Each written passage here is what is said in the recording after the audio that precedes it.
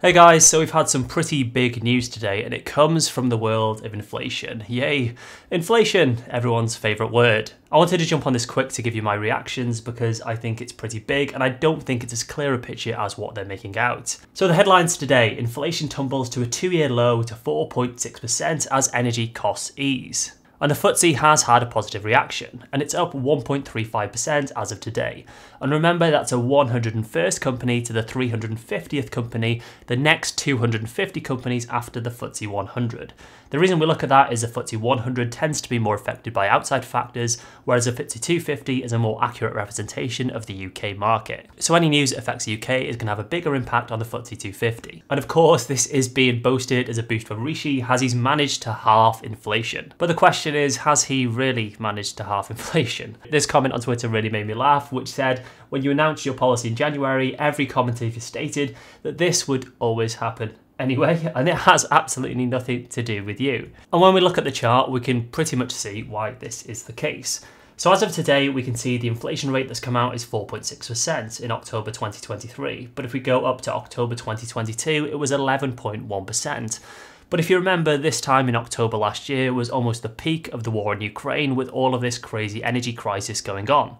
So once that came back under control, then of course this was pretty much going to happen. It's not really a direct response of anything the government has particularly done, although they want to claim it to be that way. This chart is particularly interesting to look at, although the data, unfortunately, from the Parliament website is only up to 2023. It does show you how big the impact of energy was on inflation and how that is now coming back down under control.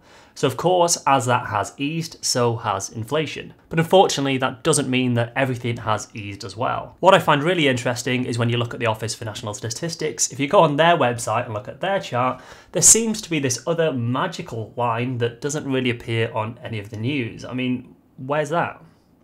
Now this line actually represents the costs represented with owning a house, which as you can see haven't particularly gone down at all. Why haven't they fallen just like anything else? And this is because the cost of everything to do with the house is so damn expensive. One benefit is that wage growth has outstripped inflation in recent months. As you can see, in wage growth has been going up, so people's pay's been going up while inflation has been going down.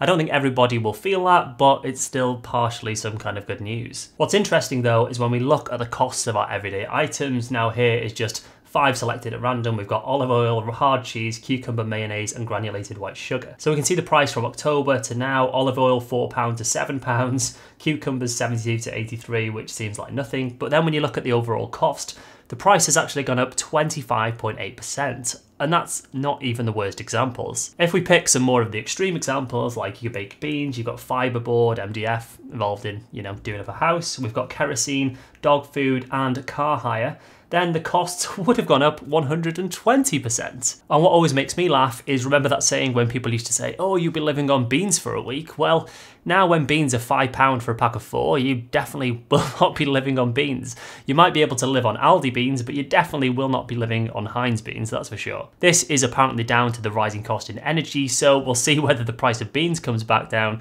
But I feel like a lot of the brands at the moment have just used this as an excuse to up their prices to where they want them to be. And reel in the profits. But what's actually really interesting that has come from this though, and is kind of unprecedented, is for the first time in a really long time, savers will actually be able to beat inflation with a savings account, which is pretty crazy. Now in terms of actually cutting the rate, I don't think we're going to see it anytime soon, unfortunately.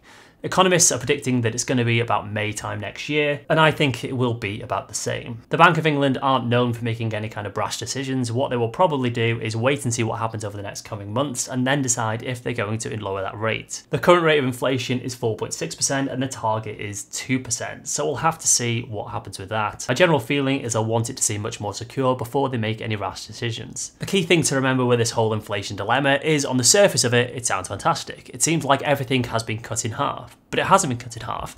It just means that everything is 4.6% more expensive than it was a year ago, when everything was already very expensive. So it's not particularly good news, but at least it's a step in the right direction. The question is, when the Bank of England does update this rate, what it will mean for mortgages and for savers. It's likely going to mean you're going to be saving a bit less if you've got cash, but it will be good news for homeowners because their rates will come down. It's not going to be such good news for people who have locked recently at these really high rates, but hey ho. I did make a post on TikTok recently where I said try not to lock in for these five year rates because the banks know that that rate is going to come back down. We'll have to see what happens and no one can predict the future. What's unfortunate though, in my case, because I want to buy a house, I do think this isn't going to be great for house prices. Well, it's going to be good if you own a house, but not if you're looking to buy one. Because what this will mean is when the rates come back down, people will be able to borrow much more money. Now, the only positive I will say is I think this has been quite a stark reminder. When the rates were really low, people thought they could borrow this infinite pool of money that they would never have to pay any more interest on. This period we've had down here from 2009 right up to 2021 is kind of unheard of. Rates have been so much higher in the past.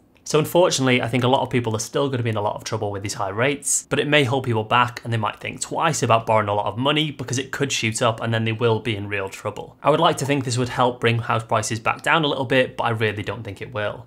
But I don't think we're going to see any major changes till May next year. What this may do though is stop the Conservatives now doing the kind of tax cuts that they were planning on doing because they'll probably save them till right before the election so they can look good again. I think it's all about public perception and how good people can look. Apologies this video isn't as polished as my normal ones, I just had to get my thoughts out ASAP. Let me know what you think about this whole dilemma and see what's going to happen over the next six months. I think it's going to be really interesting and hopefully let's just hope this is a step in the right direction. At least the good news we can take away from this is that energy costs are hopefully coming back down under control and we're not all going to get absolutely rinsed this winter. Thanks for watching and I'll catch you guys in the next video.